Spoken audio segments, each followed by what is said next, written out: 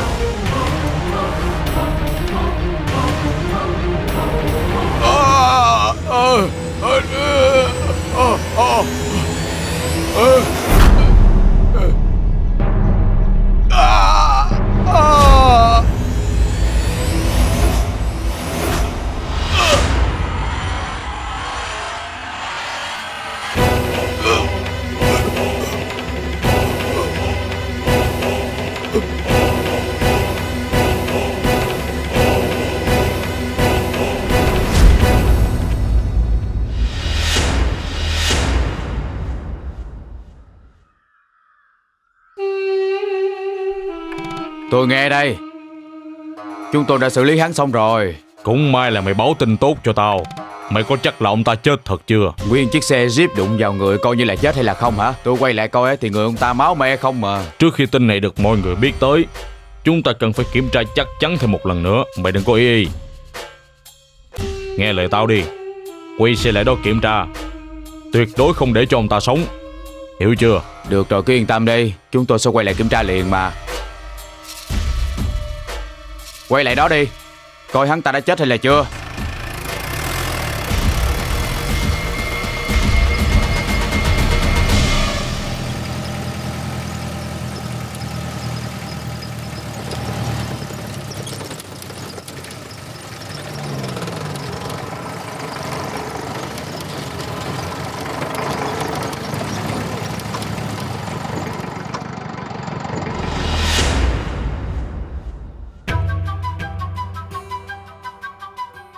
Chính là ông già đó, Ông già mà mình gặp ở ngoài chợ. Sao ông ta lại ở đây?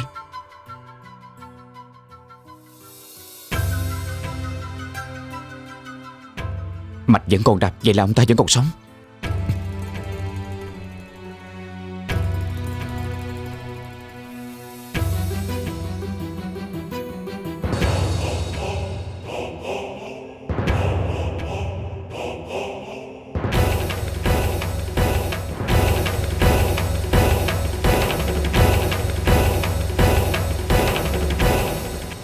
Có người đã cứu sống ông ta rồi.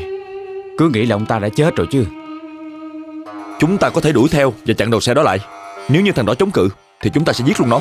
Không được. Chúng ta không thể bị phát hiện. Chúng ta chỉ nhận được yêu cầu là giết chết hắn ta và nhận tiền. Tất cả chỉ có như vậy thôi. Cho nên chúng ta cần phải tìm cách giết chết hắn cho bằng được. Nếu không á Người chết Sẽ không phải là ông ta đâu thằng ngu Mà là tất cả chúng ta đó. Mày có biết hay không? Đi nhanh lên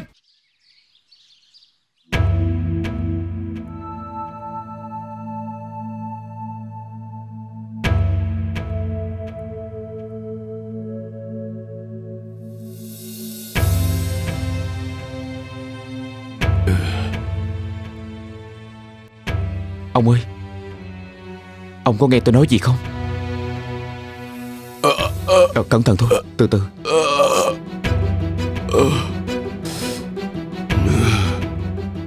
Vết thương của ông khá là nặng Cho nên đừng cử động.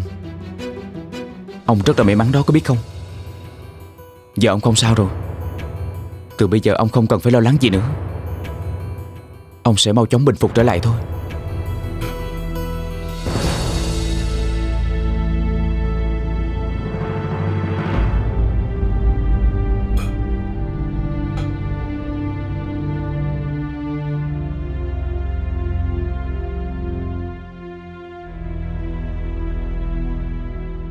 Nhưng mà làm sao ông lại bị thương như vậy chứ?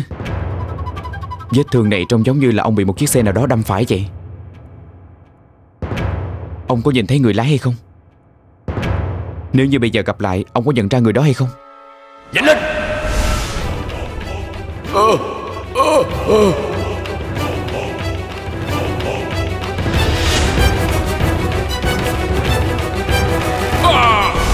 Ông tên là gì Ông từ đâu tới? Ông không phải người làng này. Ông có thể cho tôi biết số nhà hay là số điện thoại gia đình của ông? Tôi sẽ gọi cho họ và báo cho họ là ông đang ở đây. Chắc họ cũng đang lo cho ông lắm. Ông mau nói gì đi chứ? Tên ông là gì, ông ở đâu, ông làm nghề gì? Gia đình của ông hiện giờ đang ở đâu?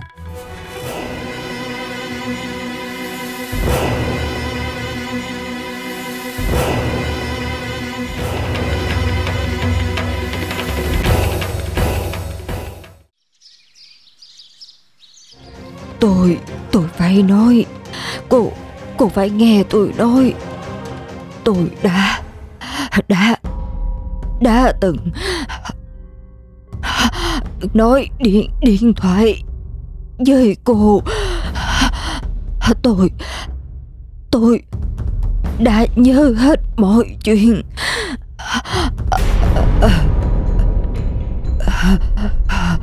Cô đã sinh, ra một người con trai hoàn toàn khỏe mạnh. Lúc đó tôi tôi đã nổi dối.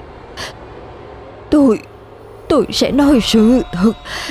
Sì Sì không không phải là con cô.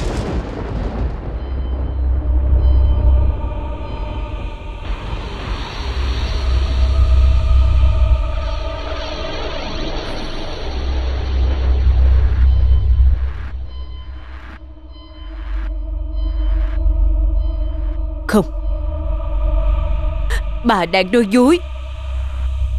Thằng Si nó là con của tôi mà. Không. Không phải vậy. Thời, thời gian trước Tôi đã nói dối cô. Nhưng giờ Tôi không thể tiếp tục phạm sai lầm. Tôi Tôi phải nói cho cô biết. Nó Nó không phải Là con của cô. Thôi đủ rồi Xin bà đừng nói chuyện nữa. Bà nên giữ sức lại đi. Tôi biết. Giờ tôi Không thể sống thêm được nữa. Nên Trước khi tôi chết, Tôi muốn nói ra những lời trong lòng. Tôi muốn Giảm bớt gánh nặng. Nếu không sau khi tôi chết đi, Linh hồn tôi sẽ không An nghỉ. Cô y ra, Cô y ra, Tôi xin cô hãy tin tôi những Những lời trước khi chết. Tôi Tôi Tôi không Không dám nói dối cô đâu.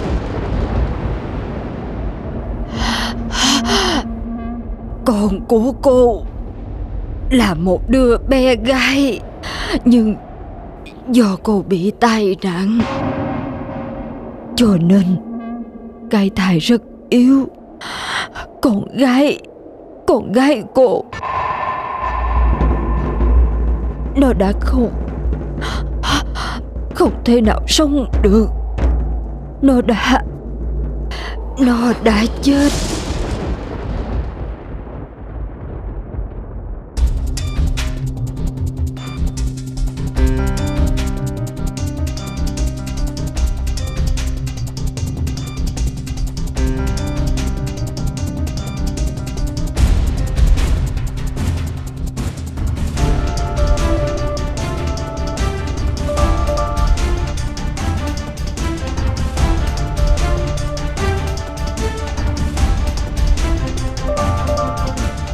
Kể từ sau đoạn này trở đi, chúng ta phải coi thật kỹ, Để xem coi những ai đã vào trong phòng hồ sơ này.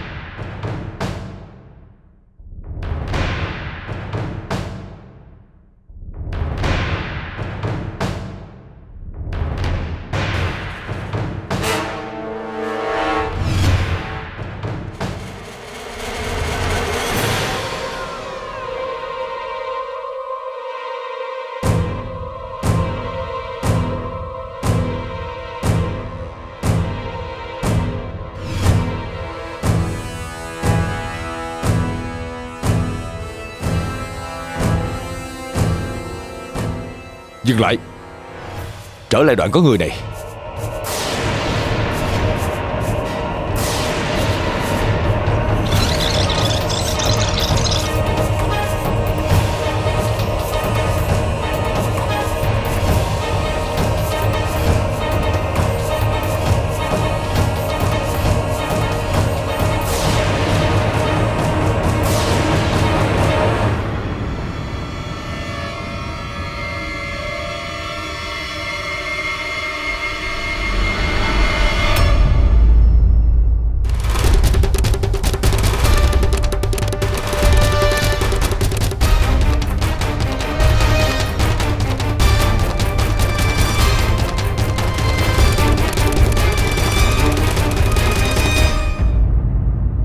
Tôi xin lỗi với cô. Đáng lẽ chuyện này, Tôi phải nói với cô sớm hơn. Tôi cứ tưởng Mình làm như vậy là đúng. Tất cả mọi người hạnh phúc. Nhưng Nhưng sự thật không phải vậy. Điều này, Mãi mãi Dạy dò tôi, Làm tôi đau đớn. Tôi không bao giờ Quên được Cái ngày Mà cô Sinh đứa con Đã chết của mình. Tôi buồn lắm, Tôi Tôi đau nữa. Gia đình cô thương cô, Họ mong muốn cô Được vui vẻ. Cô hiểu không? Tôi không muốn như vậy. Tôi muốn quên. Nhưng mà Tôi không làm được. Còn cô cô đã chết rồi. Lúc nào Lúc nào tôi cũng cầu xin thần linh, Mong thần linh hay phù hộ. Nhưng Chính Chính Chính bản thân tôi Không Không thể tha thứ Cho cho mình được. Những gì tôi làm bao lâu nay tôi biết là tôi đã có lỗi rất rất nhiều. Tại sao họ họ lại làm những chuyện như vậy? Họ, họ nào? Tại sao chứ? Bà, bà đang nói cái gì vậy? Tôi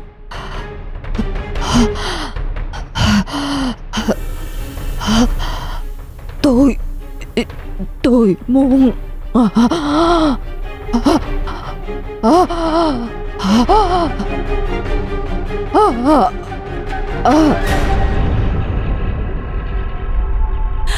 Bà Sala.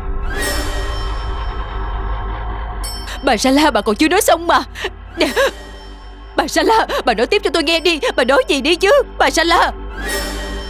Tôi rất tiếc. Bà ấy đã đi rồi.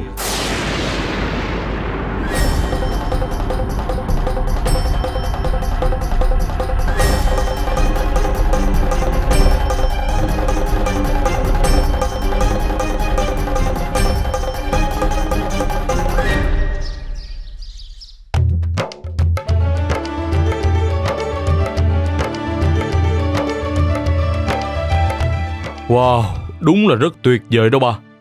Ba đúng là ông hoàng của tiệc tùng rồi đó. Đương nhiên rồi Những gì ba muốn làm rồi Thì chắc chắn ba sẽ làm được Nhưng mà phải nói à, Người có công lớn nhất chính là Anandi và Mahi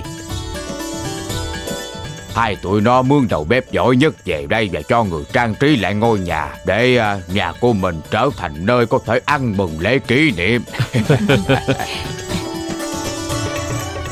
Con không thể nào chờ đợi thêm được rồi. Trời ơi Con tin ra không chờ vợ của mình luôn hả Một nửa của con vẫn chưa về mà Nếu như à, con không muốn có chuyện á, Thì tốt nhất à, con nên đợi vợ của mình về đi Không hiểu sao giờ này vợ con vẫn chưa về.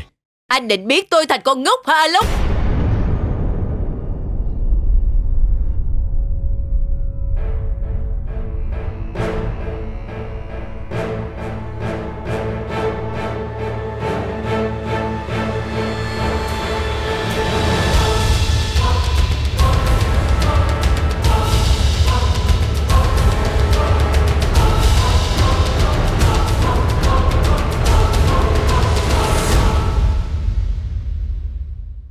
Bao nhiêu năm rồi hả anh Lốc Bao nhiêu năm qua anh coi tôi như là một con ngốc vậy sao hả anh Lốc Có chuyện gì vậy em? Em sao vậy? Tôi không dám tin vào tay của mình nữa anh Lốc Sao anh có thể đối xử với tôi như vậy chứ?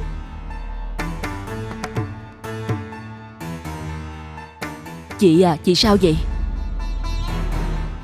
Anh mau nói cho mọi người biết cái chuyện gì đi kìa là sao anh Nếu chuyện này anh không biết thì không ai biết hết. Anh có nghe chưa hả anh Lục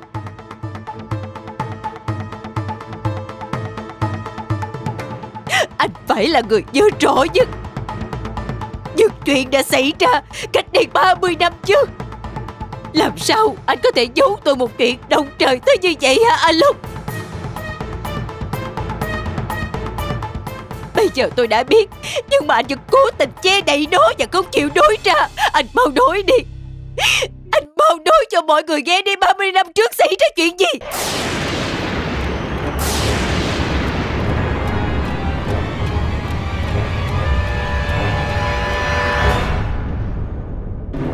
Ờ chuyện gì vậy? Ờ thật ra nãy giờ mọi người có ai hiểu chuyện gì không? Anh đừng có giải điên nữa Chính anh là người biết tất cả kìa Chỉ có tôi ngu ngốc lúc nào cũng tin tưởng ở anh hết. Thôi được. Tôi chỉ hỏi anh cách đây 30 năm về trước. Sau khi tôi bị sảy thai hai lần đầu, Thì có phải lần thứ ba Tôi đã hạ sinh một đứa bé gái? Có đúng hay không? Anh trả lời tôi đi anh Lúc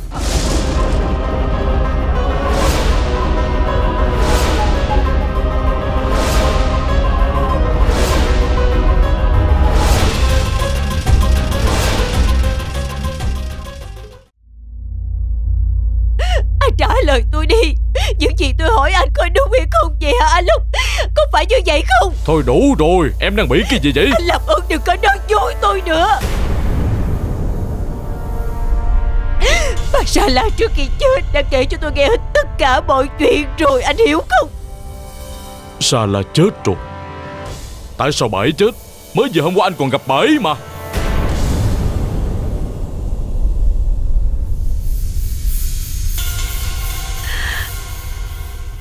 Không Tôi sẽ không hỏi anh tại sao anh lại đi gặp bà ấy đâu, Cho nên anh đừng sợ. Nhưng nhiệm vụ đối với một người vợ như tôi, Thì anh phải nói tất cả với tôi. Cái đêm hôm đó, Tôi đã cố sinh con cho anh kia mà, Tôi cứ tưởng con của tôi, Nó rất khỏe mạnh kia chứ, Tại sao lại như vậy? Tôi còn bê nó trên tay bằng tất cả tình yêu thương của mình. Con của tôi năm trung mà tôi, yêu thương nó từng ngày. Tôi còn đặt cho nó cái tên mà tôi thích nhất nữa kia mà Tôi đã cảm thấy Mình là người phụ nữ hạnh phúc nhất trên đời. Tại sao vậy anh Long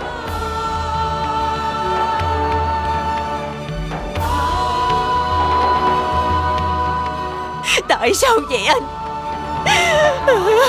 Tại sao anh lại có thể đối xử với tôi như vậy chứ? Cho phép anh làm như vậy hả? Tại sao lại không nói với tôi tất cả sự thật này vậy? Anh mau trả lời tôi biết đi. Tại sao lại giấu tôi những chuyện này? Anh có còn có tôi là vợ của anh hay không? Anh luôn Anh nói đi. Vì anh ấy muốn chị tiếp tục sống thôi mà chị à Anh ấy không muốn chị mất hy vọng sống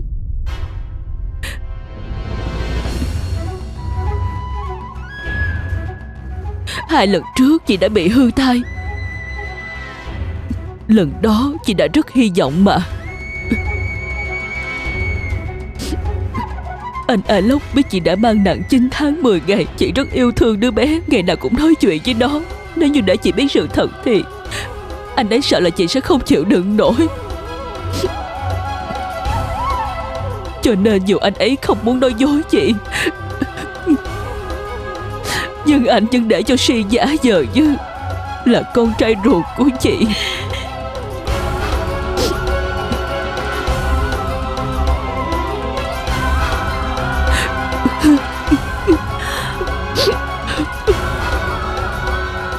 Nói như vậy có nghĩa Em cũng biết sao.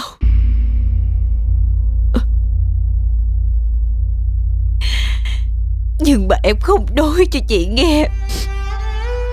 Mina, em cũng là một phần sao? Em phản bội chị vậy sao, Mina?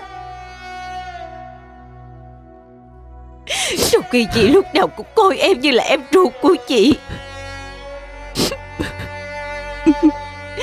Mina, Tại sao? Tại sao em có thể giấu chị chuyện này trong suốt 30 năm qua? Em đứng đó cười vui vẻ khi nhìn thấy chị biến thành con ngốc trong gần ấy thời gian. Tại sao vậy? Tại sao em và Alok có thể hù với nhau mà lừa dối chị như vậy hả, Mina? Thật ra thì chị đã phạm phải sai lầm gì Mà phải chịu những chuyện này chứ? Tại sao vậy hả? Em hãy nói đi. Trả lời chị đi, Mina.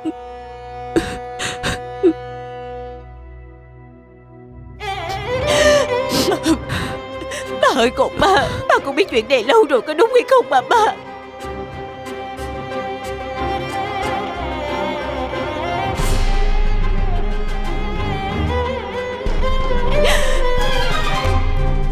Mina ơi, chị cầu xin em làm ơn cho chị biết thật ra Shin, Đó là con trai của ai để em làm ơn? Đó không phải là bồ côi của chị Em nói đi. Là con của ai? Không phải là anh Long đang gây khó dễ cho ai đó Chị để muốn Rin về làm con trai của chị thôi hay không mà em nói đi? Chị cầu xin em đó Mina. Rin đó là con trai của ai? Nó không phải là con của chị Thì là con của ai à em? Con nghĩ là chỉ có ba mới có thể cho mẹ câu trả lời chính xác thôi mẹ à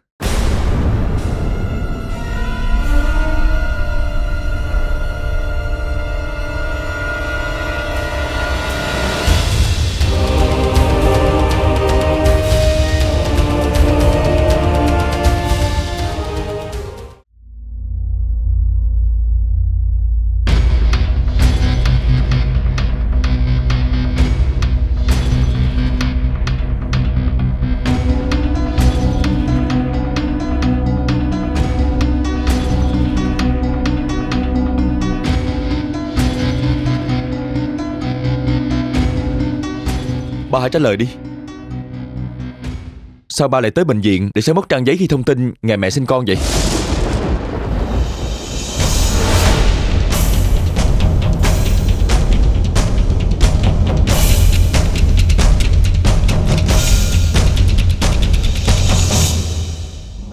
Con xin ba hãy nói cho con biết đi. Con là ai? Một người lúc nào cũng chính trực, Không bao giờ làm chuyện mờ ám Để có ngày vào trong bệnh viện để xé hồ sơ như vậy. Ba tưởng rằng ba làm như vậy Là ba có thể giấu giếm sự thật này mãi mãi hay sao vậy ba?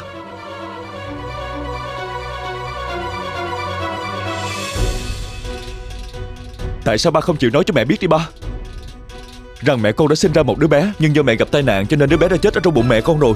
Rồi còn chuyện ở bệnh viện Dunga divi nữa ba.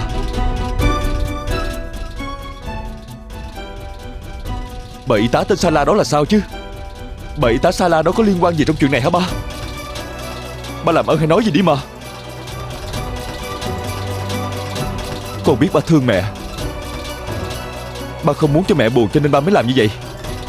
Ba không muốn mẹ vì chuyện đó mà mẹ phải nghĩ quẩn chứ gì. Con.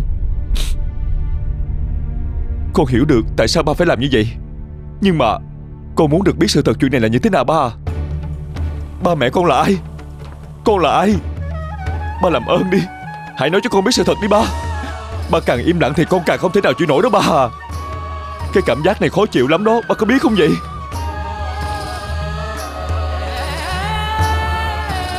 Cũng nhờ có anh anh đi nói cho con nghe sự thật này Cho nên con mới không bị sốc như vậy đó.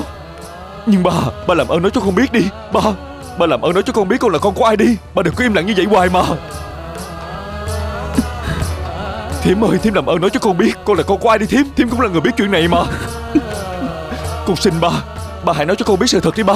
Con xin hứa. Con sẽ không buồn nữa đâu ba. Con cũng sẽ không oán trách ba gì hết. Mặc dù bao nhiêu năm qua ba đã giấu con chuyện này. Ba ơi, Ba làm ơn nói cho con biết đi ba.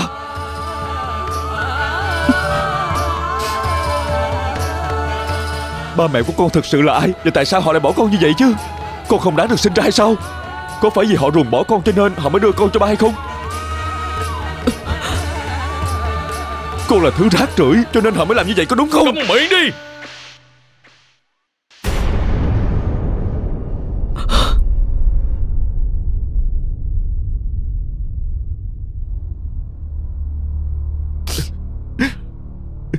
Con không được thốt ra những lời nói bất hiếu như vậy. Con không phải là rác rưởi. Con rất có ích cho cuộc đời này. Con đã cứu sống mẹ của con.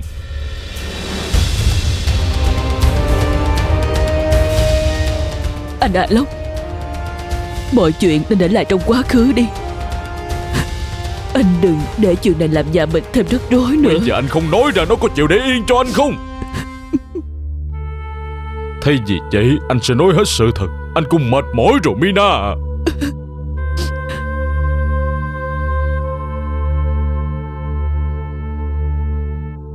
Con muốn biết sự thật có phải không? Con không phải là đứa con bị người khác truồng bỏ. Không phải đâu con trai. Con cũng không phải là đứa con ba nhận về từ trại mồ côi.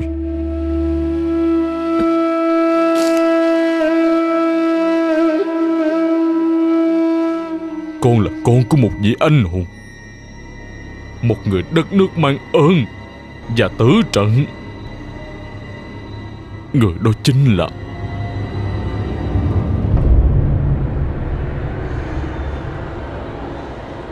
Anop Sheikha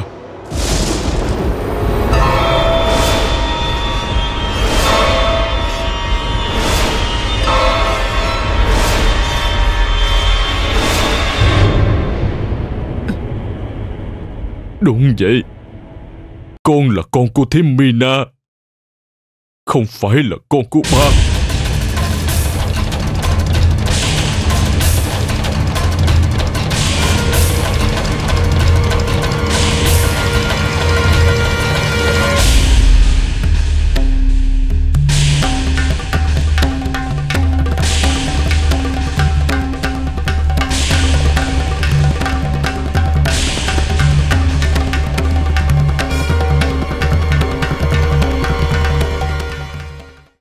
Cho thím của con.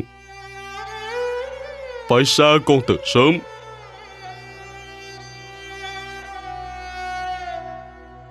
Bởi vì thím của con biết là mẹ con chắc chắn sẽ bị sốt Cho nên mới giúp mẹ của con.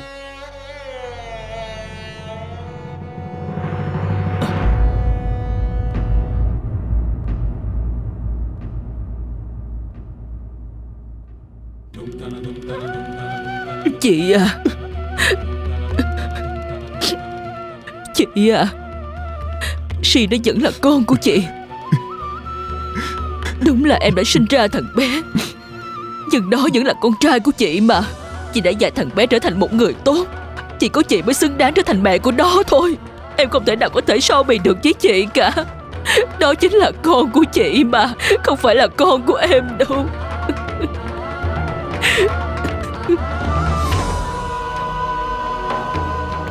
Em nghe anh đi.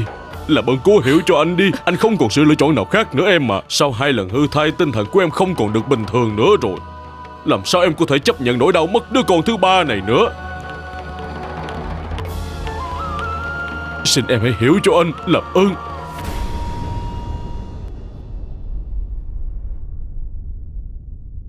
Anh còn nhớ hôm đó, Anh chưa bao giờ cảm thấy mình vô dụng Và không biết phải làm gì để giúp cho tình trạng của em.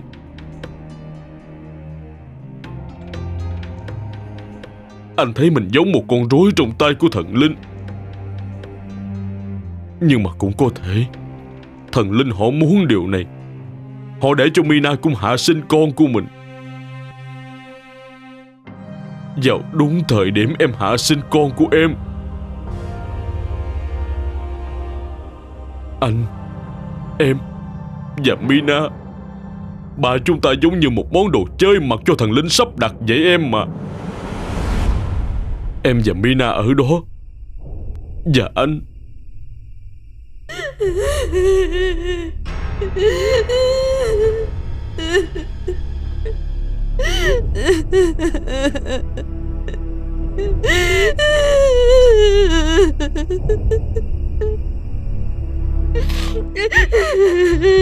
Em nín đi. Không ai có thể thay đổi được chuyện này đâu em à. Em cũng không có lỗi làm gì hết mà. Mau đến đi, Hãy tin vào thần linh đi em. Thần linh sẽ nghe lời chúng ta mà. Đi, Mình về thôi, Nhanh lên. Không có gì phải khóc hết em à. Mau đến đi, hả?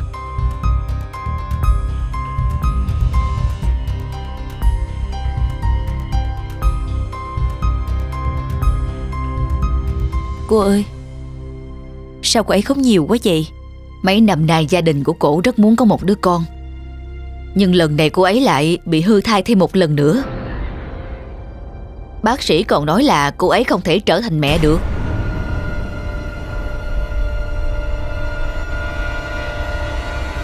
Cô ơi Bác sĩ cho gọi cô vào bên trong. Dạ tôi biết rồi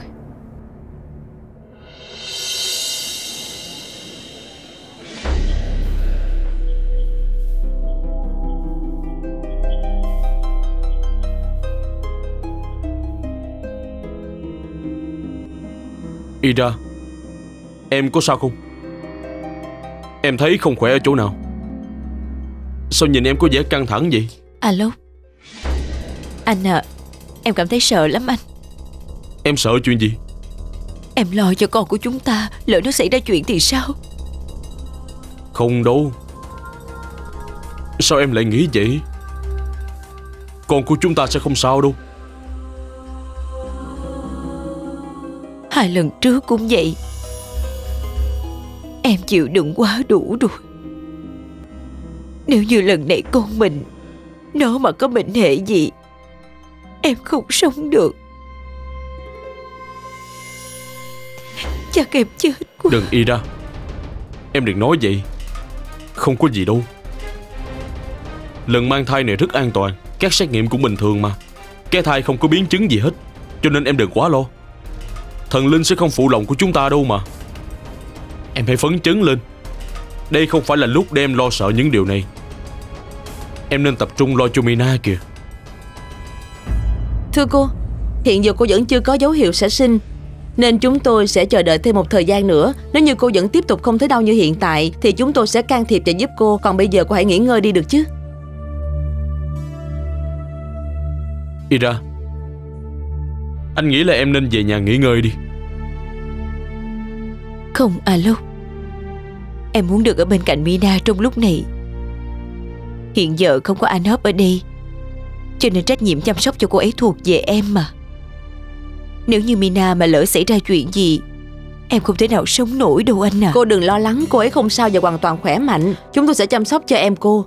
Cô cũng đang mang thai Sức khỏe cô lại yếu nữa. Cô không nên ở đây mà hãy về nhà nghỉ ngơi đi cứ để cho chúng tôi chăm sóc, Cô không cần phải bận tâm nữa.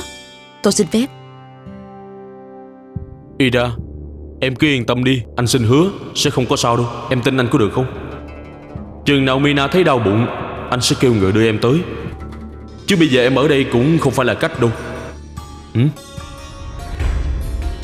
Thôi được rồi, đứng dậy. Đi thôi. Đi thôi em.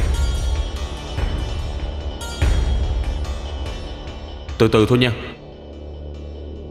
Cho tới tận ngày hôm nay, Anh vẫn không quên nét mặt đó của em. Em rất lo sợ. Sợ vì anh kêu em về nhà đi Là bởi vì anh không muốn. Anh không muốn để cho em, Để cho em chứng kiến thêm nhiều chuyện đau lòng như vậy nữa. Nhưng rồi thần linh, Một lần nữa, Một lần nữa không cho vợ chồng mình được toại nguyện. Tất cả là lỗi của anh.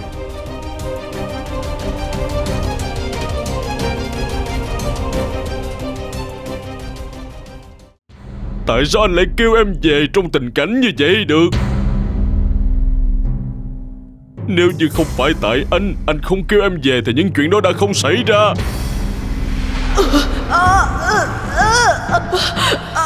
Cô đang đợi một chút nha cô. Mọi chuyện sẽ ổn hết thôi mà. Bình tĩnh, hít thở sâu vào. Cảm giác này sẽ qua nhanh thôi. Cô ráng một chút đi nha. Gọi của chị tôi lại đây đi. À được. Không cần, anh không cần phải gọi đâu. Chúng tôi có thể làm được. Anh đi kêu chị ấy giùm em đi.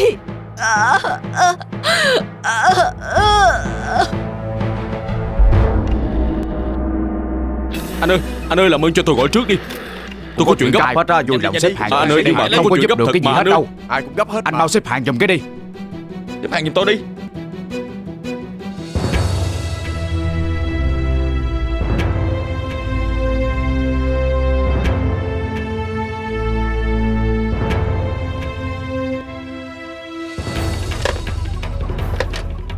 Anh ơi, làm ơn cái ông này làm cái gì Trời vậy? có chuyện gấp mà anh làm Tôi cũng đang đi. có chuyện gấp mà. Cái gì mà vô duyên quá vậy không biết nữa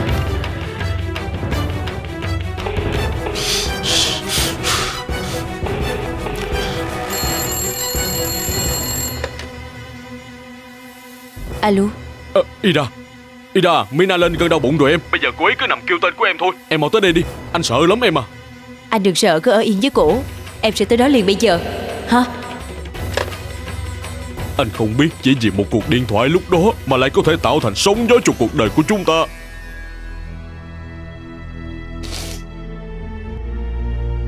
Nếu như anh không kêu em về Rồi nếu như anh không gọi cho em quay trở lại thì những chuyện đó đã không xảy ra rồi.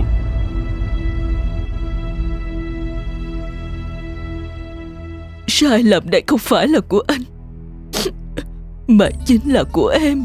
Người phụ nữ nào cũng phải chịu nỗi đau mới được làm mẹ mà. Nhưng em lại quá yếu ớt. Em Em không làm được. Em chỉ là biết la lên và bắt chị phải tới đó. Nếu em không đòi kêu chị tới Thì những chuyện này đã không xảy ra rồi. Tất cả đều tại em hết.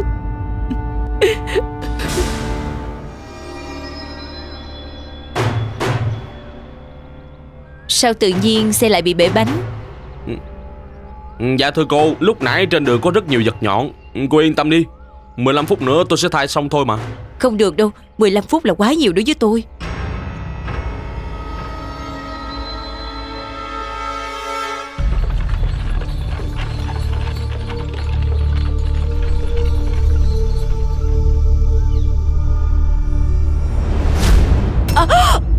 Cô cẩn thận chút nha. Tôi không sao.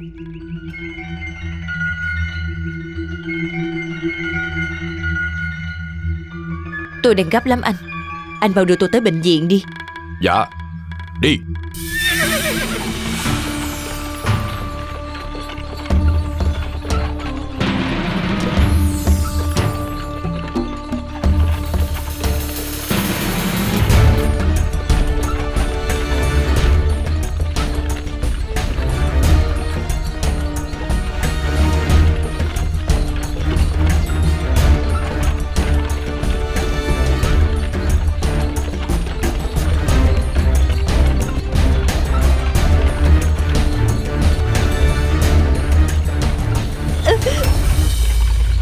Anh ơi. Anh điều khiển xe cho đàng hoàng. Tôi đang có thai đó. Dạ thưa cô đây là xe ngựa mà. Không thể nào êm ái được đâu cô à. Cô ráng một chút đi sắp đến rồi.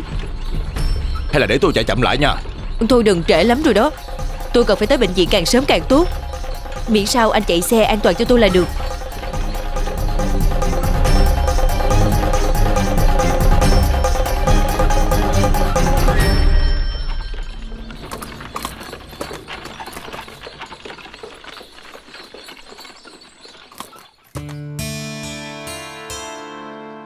Tiền nè anh.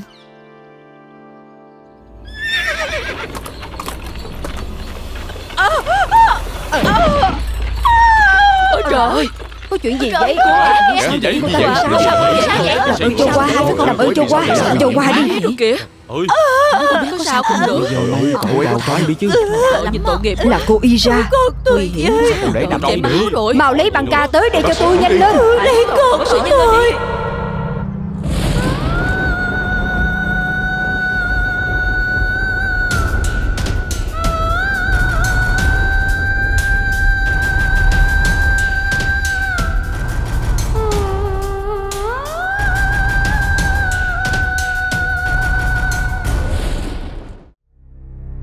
những chuyện xảy ra của ngày hôm đó. Từ bây giờ tới chết Anh cũng sẽ không bao giờ quên được. Nó đã trở thành ác mộng của anh. Chị ơi! Nhanh lên Nhanh chân lên Nhanh lên. Anh à Anh Chị Ira Anh à Chị Ira Mau gọi chị ấy tới đây đi. Nhanh lên đưa vô trong phòng đi. Nhanh lên Bác đi. sĩ và y tá đã đưa Mina vào phòng sinh. Chị à Làm ơn tránh đường đó vô. Nhanh lên nhanh lên. Nhanh lên. Nhanh lên. Làm ơn cho qua. Nhanh lên đi. Nhanh lên. Cô ráng chịu chút đi. Làm ơn cho qua. Con ơi Con của Tránh qua Nhanh lên. Làm ơn cho qua. Y ra Nhanh lên nhanh lên. Y ra Y ra. Em à Em em sao vậy? Em à Cô ấy bị sao vậy? Cô ấy đã bị té ở trước cửa bệnh viện. Bây giờ tình trạng cô ấy rất nguy kịch. Long ơi con của chúng ta. Em yên tâm đi. Em và cô sẽ không sao đâu Y ra. Anh Long Y ra. Y ra em phải cố lên Y ra. Y ra không sao đâu.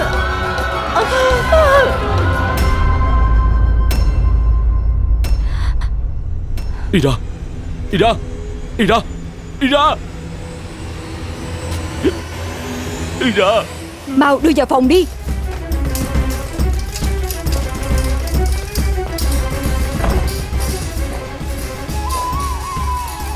Anh vui lòng trở ngoài.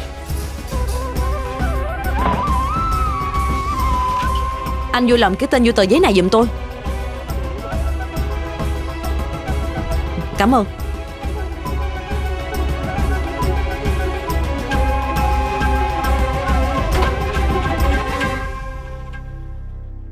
Anh là chồng của ấy à?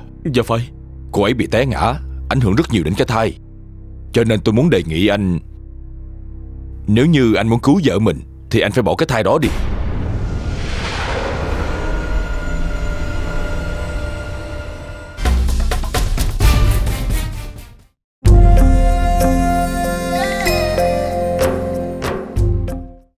समझने की कोशिश करो शिव बेटा मैं इस बात को सोच के घबरा जाता था कि अगर ये बात सबके सामने आएगी तो हम सबके जीवन में एक तूफ़ान खड़ा हो जाएगा।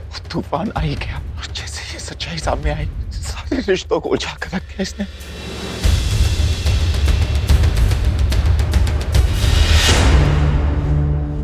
मने आनंदी की बहुत ज़्यादा जड़ावे छोटी सी थी जब इस घर में आई थी। नकली की नाक सिकुड़ी रह गई थी। दादी साहब मन्नू के दूध पीने का वक्त हो गया। एक बार देखा हूँ। हाँ देखा जल्दी जल्दी।